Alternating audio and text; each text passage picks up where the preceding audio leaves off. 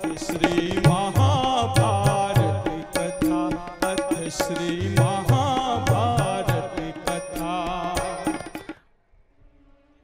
યુધિષ્ઠિર રાજા એટલું કીધું કે, ભાઈ, તું એને પગથી પાટા નો માર, ગમે એમ તો એ આપણો ભાઈ છે. ભીમસેને દુર્યોધનનો તિરસ્કાર કર્યો ને એ કોઈને ગમ્યું નહીં.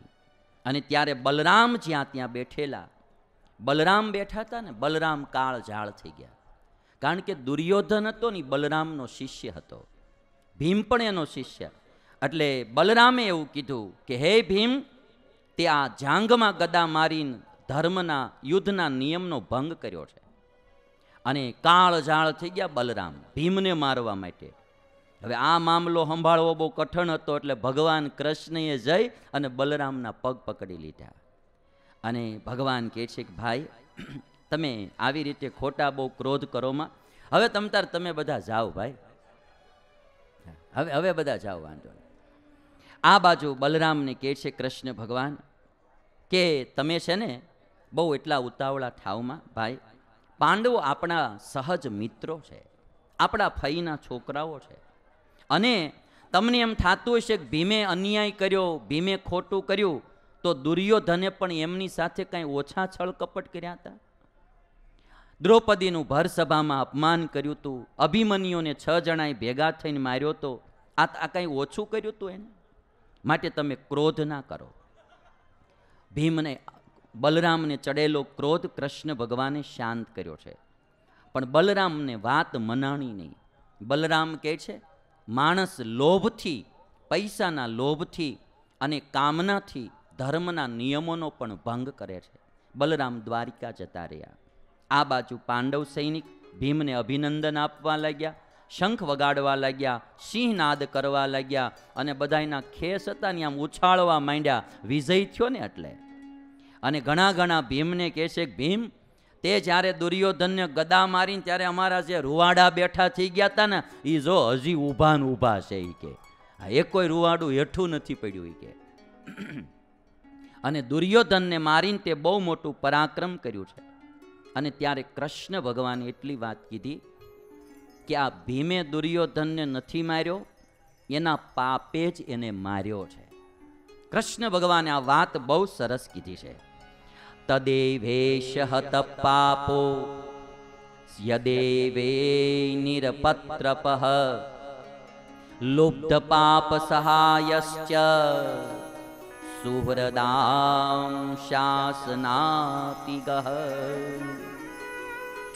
તદેવેશ હત પાપો કૃષ્ણ ભગવાન કહે છે કે આ દુર્યોધન પાપી હતો તદે વેશ હત પાપ આ પાપી હતો યદે વે નિરપત્રપ આ નિર્લજ હતો આને કોઈ લાજ શરમ નહોતી લુબ્ધ આ લોભી હતો.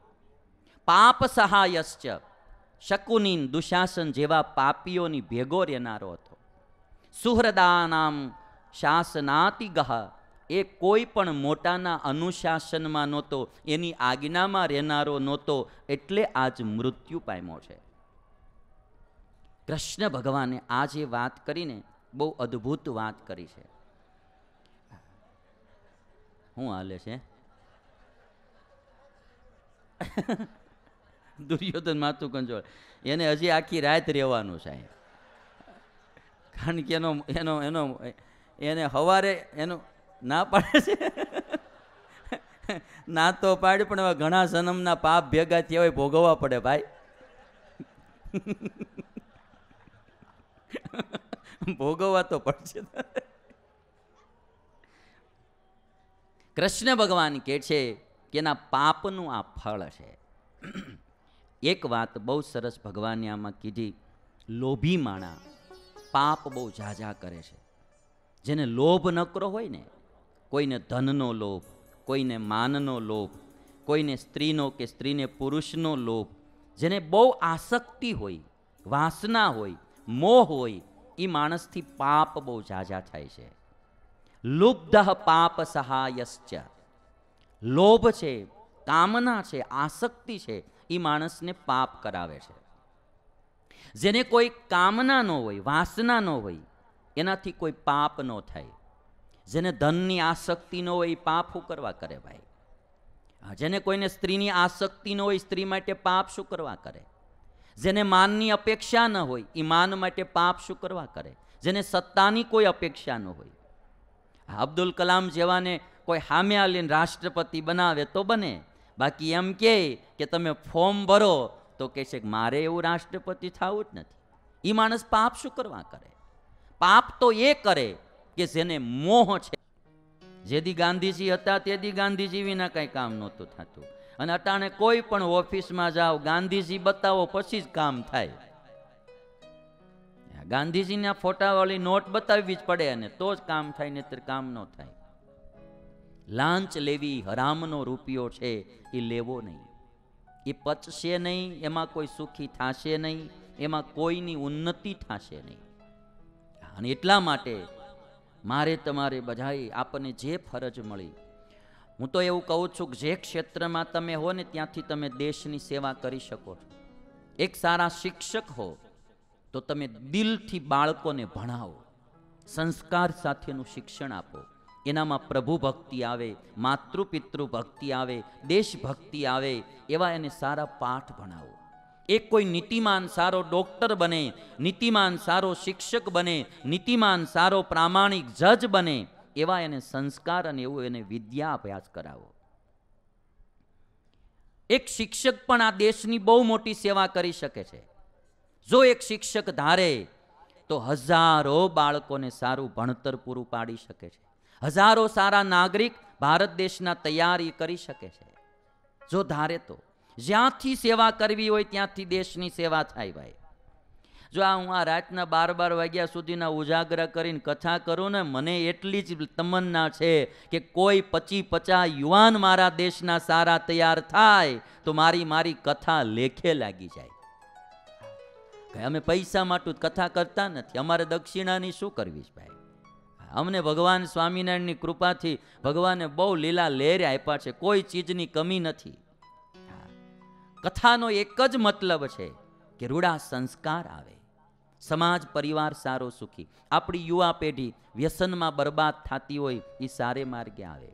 યુવાનોને મારે કેવું છે, તમે વ્યસનમાં તમારી જિંદગી બરબાદ ના કરો. માવા ગુટકા બીડીયું ખાઈ ખાઈને પછી કેન્સરો થાય, મોઢા કાપવા પડે અને તમે આખી જિંદગી બરબાદ કરો ભાઈ. તમારી બરબાદ થાય, પાછળનો પરિવાર રજળી પડે, રખડી પડે, બૈરી છોકરા નિરાધાર થાય. અને અમે તો હજી આ માવા ન છોડાવીએ કે ત્યાં તો માળા વાલીડા પીતા થઈ ગયા. દૂધ ન પીવાય એટલો દારૂ પીવાય છે ભારત દેશમાં. દૂધ ન પીવાય એટલો દારૂ. શું કરવા દારૂ પીવો છો યાર. અમારે તો ચા વિનાનું ચાલે છે, ભલામણ તમારે દારૂ વિના નહીં હાલે. અમે તો ચાય નહીં પીતા, નહીં કોદી કોફી પીતા. ચાય કોફી વિના ચાલે છે ને તોય ઓહોનું સારું કામ થાય છે, તો તમારે ભાઈ દારૂ વિના નહીં ચાલે. આજે આજે સભામાંથી બધાએ એક નક્કી કરી લેવું કે કોઈ પણ પ્રકારનું ડ્રિંકિંગ હોય, કાંઈ પણ હોય તો છોડી દેવું. રિવર્સ ગેર તો પાડવા જ માંડો ભાઈ, સુખી થવું હોય તો. આ દુર્યોધને રિવર્સ ગેર ન પાડ્યા ને એનું પરિણામ હતું આ. એને એને ઘણા વાર વિદુરજીએ સમજાવ્યા કે રિવર્સ ગેર પાડ દાદા ભીષ્મએ સમજાવ્યો કે રિવર્સ ગેર પાડ ગુરુ દ્રોણે સમજાવ્યો કે રિવર્સ ગેર પાડ કૃપાચાર્યએ સમજાવ્યો રિવર્સ ગેર પાડ પણ રિવર્સ ગેર પાડ્યો જ નહીં. એનું આ પરિણામ આવ્યું. જ્યારથી સમજાય રિવર્સ ગેર પાડો બારા નીકળો. વ્યસનમાં જિંદગી બરબાદ ન કરો. શિક્ષક હોય દિલથી છોકરાઓને ભણાવે. કેવલ ફી માટે નહીં, કેવલ ટ્યુશનના પૈસા ભેગા કરવા નહીં. હામું એને એટલું આપો. તમે ફી લેતા હો, ટ્યુશન ફી લેતા હો, તો સામે એને દોઢું વળતર આપો. સારો બાળક તૈયાર થાય. હવે આ આ શિક્ષક જ ઊભો ઊભો માવો ચોળતો હોય એ છોકરાઓને સંસ્કાર શું નાખે? હા એ એ જ પાછો લેટ્રિનમાં જઈને બીડી પી આવતો હોય. એ એ છોકરાઓમાં સંસ્કાર શું નાખે? શિક્ષકની બહુ મોટી જિમ્મેદારી છે. સંસ્કારી સમાજ. એક વાત યાદ રાખજો દેશના રોડ રસ્તા સારા થઈ જશે, એનાથી દેશ વિકસિત થયો નહીં ગણાય. દેશના માણસો સારા થશે, તેથી દેશ વિકસિત થયો ગણાશે. દેશની જનતા સારી થવી જોશે. માણસો સજ્જન થવા જોશે. અને શિક્ષક એના હાથમાં બહુ મોટી કર્તવ્ય છે. એ ધારે તો કેટલાય લોકોને સારા બનાવી શકે. ભણાવ ટાણે દાંડિયા દઈને એ તમારે પછી ઓફિસોમાં જઈને વાતું કરે. એક શિક્ષકને તો એવી ટેવ પાન ખાવાની તો છોકરાઓને કહે છે, બેટા, ટ્રેનનું ચિત્ર દોરો, હું હમણાં આવું છું. હો." એમ કરીને મારો ગલ્લે પાન ખાવા વયો જાય. તે છોકરાઓને બધાને ટ્રેનનું ચિત્ર દોરવાનું કહીને સાહેબ ગયા કે પાંચ મિનિટમાં આવું. પાંચ મિનિટને બદલે પંદર મિનિટ ગઈ, સાહેબ ન આવ્યા. પંદર મિનિટ પછી સાહેબ આવ્યા અને છોકરાઓને કે, ટ્રેનનું ચિત્ર દોર્યું? તો કે, હા. નોટો ખોલો બધાની, હું જોઈ લઉં. બધા નોટો ખોલી, બધાએ નોટોમાં ખાલી પાટા જ દોર્યા હતા, રેલ પટરી દોરેલી. આમ બે લીટા આમ કરેલા ને થોડાક આડા આમ લીટા કરી દીધેલા રેલ પટરી. શિક્ષકે તમને ટ્રેનનું ચિત્ર દોરવાનું કીધું, ટ્રેન ક્યાં? તે છોકરો કે સાહેબ, તમે પાંચ મિનિટનું કહીને આવ્યા, ટ્રેન તો ઉપડી ગઈ. તમે પાંચ મિનિટનું કીધું, પાંચ મિનિટમાં આવો, તે તમે આવ્યા પંદર મિનિટે, ટ્રેન તો ઉપડી ગઈ. પાટા રહ્યા હવે આવા શિક્ષક નીચે છોકરા શું તૈયાર થાય? એક શિક્ષક જો ધારે ભાઈ, હા, ચાણક્ય જેવો શિક્ષક હોય, દેશની રોનક બદલી નાખે. હા, એક શિક્ષક ધારે, તો આ દેશની બહુ મોટી સેવા કરી શકે. એક ડોક્ટર ધારે, તો આ દેશની બહુ મોટી સેવા કરી શકે.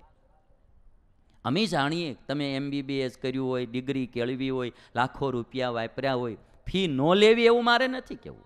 ફી તો લેવી જ પડે. હા ડૉક્ટરોને એની એની બી બૈરી છોકરા હોય, ફી લેવી પડે, બધું કરવું પડે. મારું તો એટલું જ કહેવું છે ડૉક્ટરોને, ખોટા ઓપરેશન ન કરી નાખો, બસ.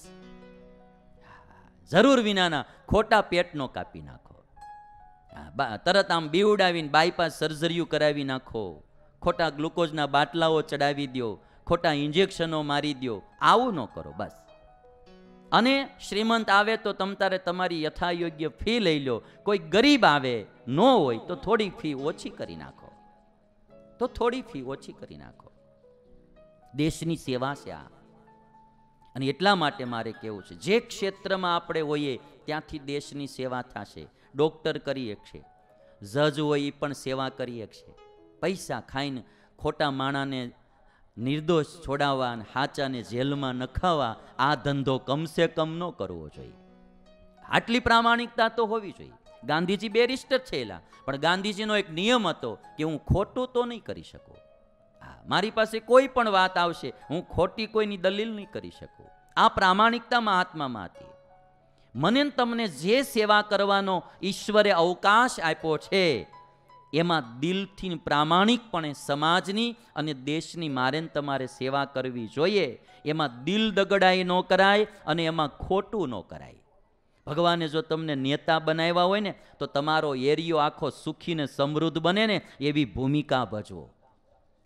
અમારે સુરતમાં એક રાવ સાહેબ આવ્યા, જે ગંદુ સુરત શહેર કહેવાતું, એના બદલે ક્લીન સુરત શહેર કેવડાવવા માંડ્યું, એટલું એક અધિકારી કામ કરી શકે. જો નોન કરપ્ટેડ હોય તો. આ નોન કરપ્ટેડ હોય તો. એક કરપ્શન વિનાનો અધિકારી આવે મ્યુનિસિપાલિટીનો. આખી સુરત, આખા સિટીની રોનક બદલી નાખે. હા.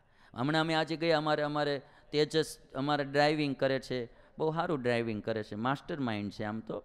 અને મને વાત કરતો તો આ બધા રસ્તા કે બહુ બધા હાંકડા હતા, પણ એક અધિકારી આવ્યા હતા અમારા અહીંયા, બધું ડેમોલેશન કરી અને બહુ રોડ રસ્તા પોળા કર્યા અને બહુ બધું સારું કર્યું. હું તો એવું કહું છું કે આપણું ખોટું દબાણવાળું મકાન હોય ને એ જાતું હોય તો પછી પછી એમાં બહુ ઓયલું ન કરવું. ભગવાન બીજે દઈ રહે, પણ બધાનું સુખ થતું હોય તો આપણું સુખ થોડુંક જાતું પણ કરવું પડે. તો દેશ આગળ આવશે. અને એટલા માટે મારે કહેવું છે. શિક્ષક હોય, સમાજમાં કોઈ બી અધિકારી હોય, તમને જે સેવા મળી એમાં કરપ્શન ના કરો, કોઈ લાંચ ના લ્યો. હા, બધા પોતપોતાના દિલથી લોભે કરીને જ લાંચ ખાય, લોભે કરી પાપ બધા કરાય, લોભે અધર્મી જન લાંચ ખાય, લોભે અધર્મી જન લાંચ ખાય, લોભે કરી પાપ બધા કરાય. લોભથી બધા પાપ થાય છે. અને આમાં આમાં લાંબુ કંઈ કરવાનું નથી. જે ભૂમિકા મને તમને ભગવાને આપી, દેશ માટે ને સમાજ માટે અદા કરો.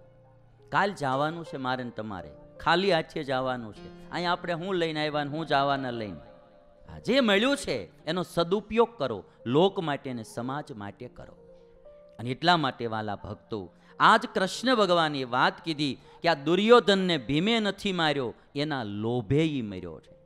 એ લોભને કારણે એણે પાપ કર્યા. હું મૂળ વાત એ કરતો હતો કે લોભને કારણે માણસ લાંચ ખાય છે, લોભને કારણે માણસ ન કરવાના કામ કરે છે. ન્યાયે મળ્યું તે, ધન હાથ લેવું પડ્યું, જડ્યું તે, પણ ત્યાગી દેવું. ગ્રહસ્થ તેનો મન લોભ રાખે, તે પાપનું ફળ તેહ ચાખે.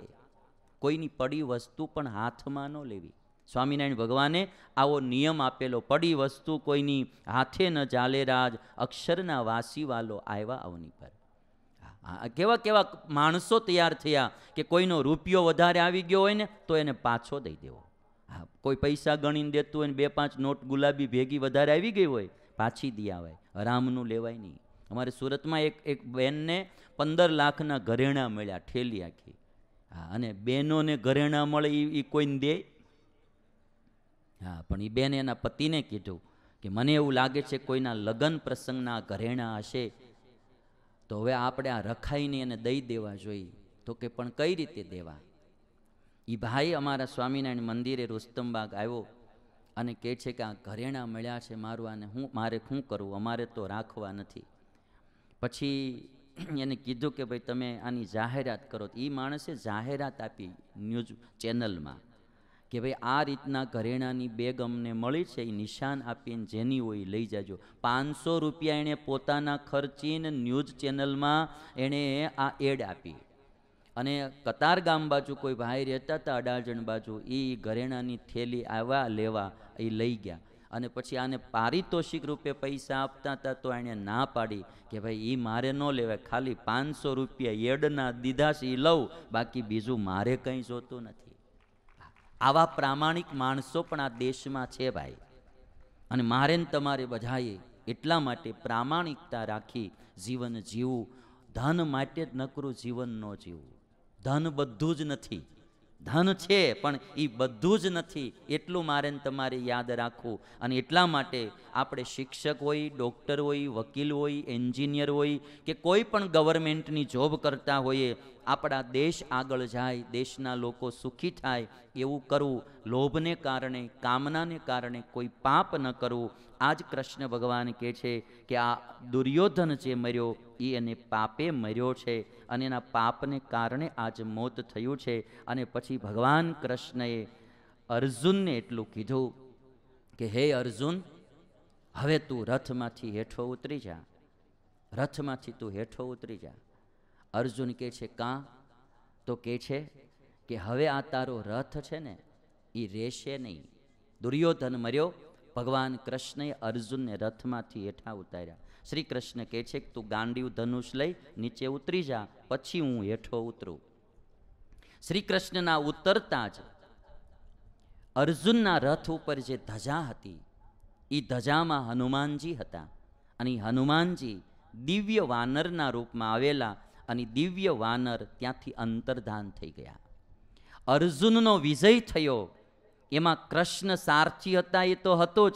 પણ એની ધજામાં દાદો હનુમાન બેઠો તો આજ શનિવાર છે કે એ વિજયમાં એક હનુમાનજી પણ કારણ હતા.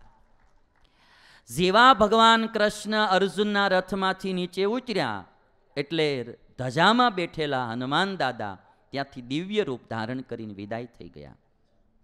અને કૃષ્ણ ભગવાન કહે છે કે આ તારો રથ દ્રોણ અને કર્ણના દિવ્યાસ્ત્રો દ્વારા દગ્ધપ્રાય થઈ ગયેલો, બળી ગયેલો. પણ જ્યાં સુધી એ ભસ્મ થઈને પડી જ જવાનો હતો, પણ મારે કારણે અટાણ સુધી બળીને રાખ નથી થયો. કૃષ્ણ ભગવાન કહે છે. અર્જુન કહે છે કે આવું તો કે હા, તું નીચે ઉતર, હું ઉતરું એટલે રથ બળી જશે. જેવા ભગવાન કૃષ્ણ નીચે ઉતર્યા, રથ બળીને રાખ થઈ ગયો.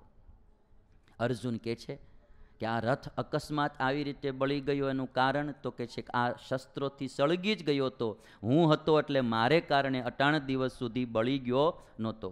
શ્રી કૃષ્ણએ આ બાજુ યુધિષ્ઠિર રાજાને ભેટી અને વિજયની વધાઈ આપી. શ્રી કૃષ્ણએ કહ્યું કે આજની રાત આપણે બધાએ શિબિરની બહાર રહેવું જોઈએ અને પાંડવો બધા ઓઘવતી નદીના તટ પર જઈને નિવાસ કર્યો. હવે અશ્વત્થામાં પાંડવોને મારવા માટે આવે છે. રાત્રે ભગવાન કૃષ્ણએ બધાને શિબિરમાંથી બારા કાઢી નદી કિનારે સોડાવ્યા છે. આગળની કથા આપણે આવતીકાલે સાંભળીશું. અત્યારે આ સાથે મારી કથાને વિરામ આપું. જય સ્વામિનારાયણ.